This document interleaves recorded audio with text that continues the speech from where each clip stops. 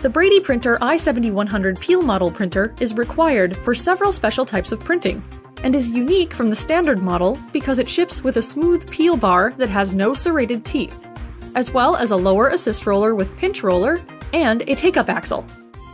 These enable the printer to do three types of printing. Standard printing, standard printing with internal rewind of printed labels, and peel and present printing, with either manual button press label advance or automatic label advance. This video will show how to use a peel model printer to peel and present with automatic advance mode. For this, you will need to install a present sensor accessory and specify the job in your printer driver. To install the present sensor, in this case, the PS900, begin by powering off and unplugging the printer. Then, remove the anti-static brush, which may interfere with the sensor's light beam. Use the hex key tool to unscrew the anti-static brush and remove the component. Then, unscrew the front plate and remove it. Be sure to line up the port and screw on the sensor, and screw it back into place. Now you can turn the printer back on.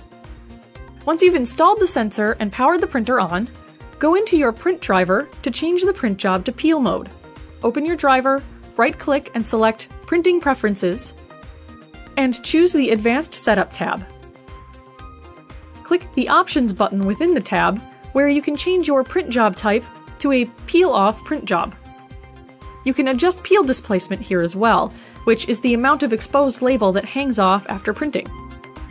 Then click Apply to apply your changes, then hit OK.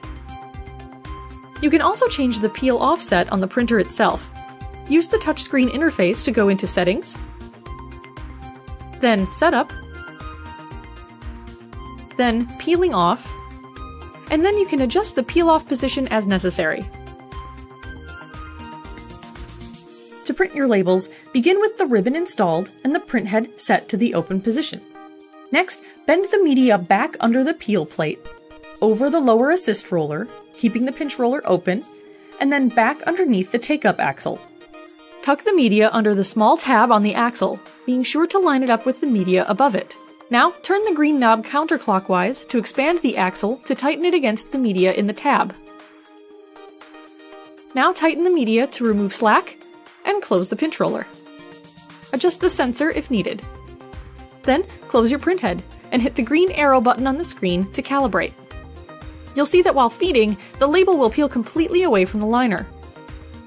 If you need to increase tension on the liner to increase peel action, just quickly release the pinch roller contact, slightly advance the take-up spool, and hold it there while re-engaging the pinch roller. When you send your label job to the printer, the first label in the series will print and present itself. Notice the sensor will shine a red dot on the label to detect when you remove it, and then will automatically print, peel, and present the next label in the series.